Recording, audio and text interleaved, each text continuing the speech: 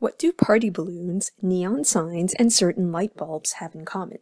They are all filled with a noble gas. In this lesson, we will learn about the noble gases, their properties, and their uses.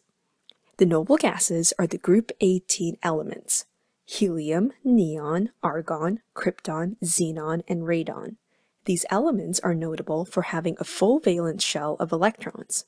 Helium has two valence electrons, whereas the other noble gases each have eight valence electrons. The noble gases all have full valence shells, which makes them very stable elements. In fact, they are so stable that, in the past, chemists thought that they could not react with other elements, which is why they were called the inert or unreactive gases.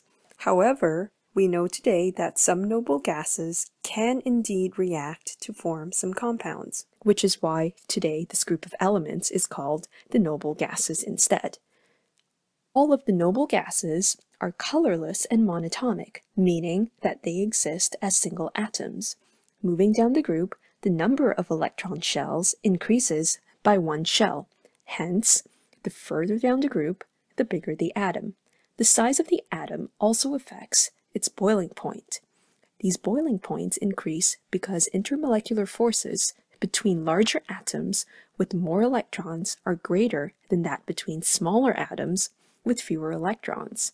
Also, moving down, the density of the gases increases because larger atoms take up more space in a set volume.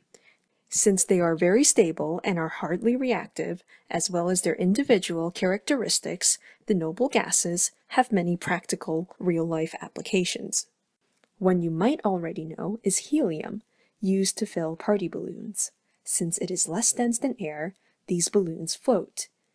And because of this property, helium is also used to fill airships. There are actually many interesting uses in industry. Krypton and xenon are used in some types of lasers and in flat panel display manufacturing. Since the 1990s, xenon is being used increasingly for car headlights to increase road safety. Xenon lamps produce a very bright light and increase contrasts and color vision. Although it is very inert, when an electrical current is passed through neon, it emits a bright orange light. Light bulbs are filled with argon, Unlike air, it will not react with the tungsten filament. Noble gases are also applied in medicine. Xenon is an effective natural anesthetic. It helps doctors maintain the patient's blood pressure and heart rate during operations and has particularly few side effects. Meanwhile, radon is highly radioactive, which is a characteristic that has been put to use in radiotherapy in attempts to cure cancer.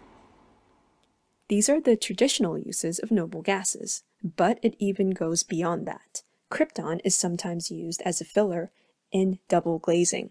Set between two glass panels, Krypton will offer very good insulation because it has a lower thermal conductivity than the molecules making up the air. And it doesn't stop. In the space industry, xenon is used as a propellant that helps us steer satellites on their orbital paths. Its mass ensures that we can put the satellite in movement. So now you know the basics of noble gases, the group 18 elements, also known as group 0. Their stability is one of their main characteristics, allowing for many real-life applications.